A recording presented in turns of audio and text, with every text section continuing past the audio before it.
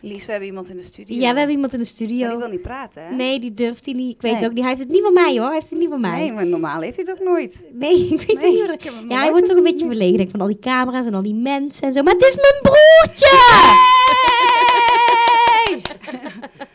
Het is Barry de Bruyne. Es ist Barry de Bruyne, ja. Und neben Barry de Bruyne sitzt Kim de Bruyne. Ah, oh nee. Nein, nein, nein, nog niet. Nog niet. Dat komt toch auch. Ja, dat komt nog ook, ja. Ehm, goed. Eh, en eh, Barry en Kim die hebben een nummer aangevraagd. En dat is ook van eh, Gers Pardoel. En dat heet... Oh nee, Kim heeft hier niks mee te maken. Ho, ho.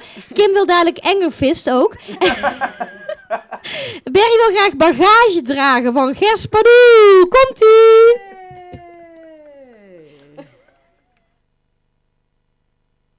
Hey, achterop mijn fiets. En ik weet nog niet waar we naartoe gaan samen, maar dat boeit me ook helemaal niet. En